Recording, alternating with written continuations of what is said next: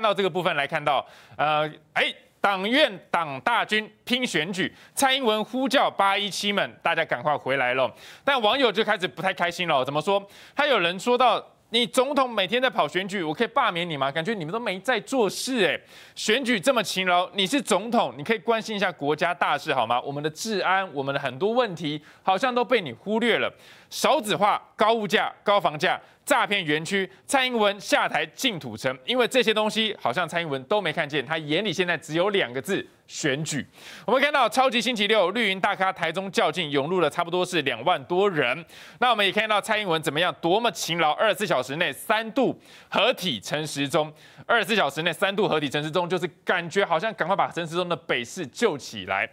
我们看到十一度合体蔡其昌，再来就是赖清德也是八度到台中力挺，而吴子嘉呢则提到说，民进党对于台中市的选情啊，应该是心里有数了啦，手脚恐怕啊都软了。这么多大咖去干什么呢？好像也没有用。那对于这部分来看到，台大政治系教授左正东就提到了。其实我们蔡英文总统的 FB 有三百一十五万粉丝团，这么的高，但是每一则关于选举的点击率只有三千多，其实相相当的低。这样子换算下来，三百一十五万只有三千多而已。所以人民的眼睛是雪亮的，他的粉丝也觉醒了，似乎不失去控制的焦虑，感觉到国家不在他的控制范围之内呢，没有办法掌握明年以后的民进党，所以他现在是很担心的。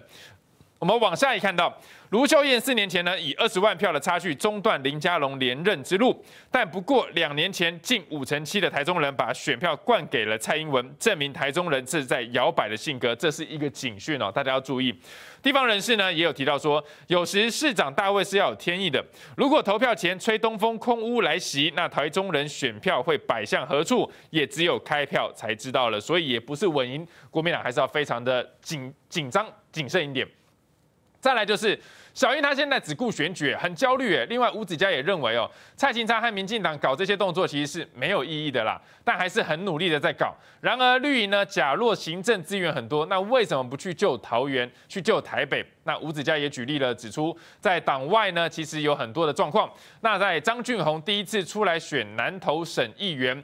康宁祥是党外的大佬，全省党外辅选，那辅选行程却跳过了南投，因为资源很少，就要压在能够发挥的地方。对于这些部分来讲的话呢，我们让请子哲哥跟我们提醒一下。是的，呃，第一个，我想如果蔡英文总统在治理国政啊，能有像选举这么努力了，我想中华民国应该会更进步哈，更繁荣，大家日子会过得更好。所以我们都知道，民进党。坦白讲，就像个选举机器一样啊，很会选举哦，很会这个操弄议题、带风向等等。可是，在治理国政哦，带领国家进步，却是完全没有方略。那我们可以看到，蔡英文总统这个这个周末当然也是啪啪走了哈。那几个他这个重点哈，这个浮选的地区，尤其是台北市。大家也看得到哈，他走得非常的勤啊，二十四小时三度合体陈时中啊。那我想这个道理很简单哦，陈时中就是蔡英文总统哦，这个呃决定要提名他哦，甚至是布局这个二零二四的这个呃总统，尤其是他的这个派系，他主义的这个陈建仁哦，来提早哦帮忙这个卡位。所以说，呃，当然，对于蔡英文总总统而言是非常重要的这个战略呃位置。哈，我指的是陈时中台北市这一场选战，所以说他可以密切的跟陈时中合体，这是可以理解的啦。可是我想呢，蔡英文总统或民进党大概忽略了这个台北市的选战，哈，就如同他们同党的林佳龙所说的，哈。就是说，这个民对于民众的这个仇恨值真的非常之高，而且即便是疫情到目前为止也没有呃缓和下来，哦，我我想每天也是还有这个两万例、三万例左右，所以说呃，在疫情不利，甚至是过去高端的种种的弊端都笼罩在陈时中的身上，所以。我想，这个民进党在台北市大概唯一能诉求的啦，就是他的基本盘哦，就是他铁中呃铁粉哦始终的支持者。可是即便是是西丢呢，哈，大家也可以看得到哦，过去打了高端疫苗的，现在要这个出国，哦，处处受阻，哦，出不了国，哦，甚至要自费或者说高端提供的 PCR 才能呃出境等等，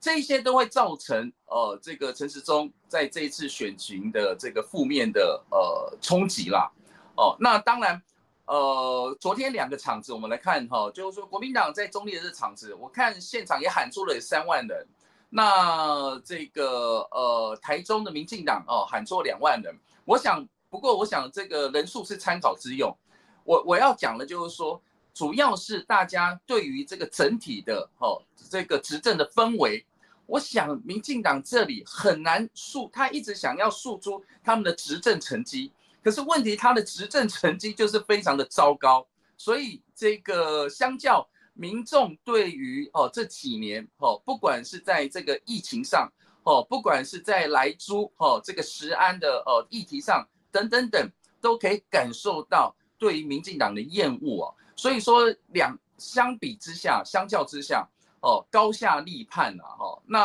呃，即便是这个日本的学者哦，之前都已经评估了。看起来，民进党这一次在呃县市长的选举，恐怕能斩获的非常有限，大概只有几个县市哦。那当然，国民党我们要步步为营，也战战兢兢哦。我想只剩下最后一个礼拜，我们除除了要提防下周哦，这个接下来民进党有没有一些奥波啦哦等等，我们自己哦也要做最后的冲刺哦。所以我们是乐观，但是绝对不松懈。